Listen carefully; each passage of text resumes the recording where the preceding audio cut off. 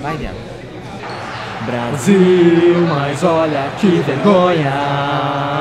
Perdeu em casa tua honra.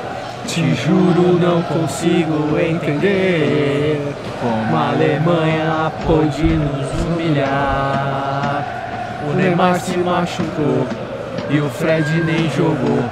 Tô xingando esse cara até hoje. 7x1 não dá pra crer, eu jamais vou esquecer. Outra Copa no Brasil não vai mais ter.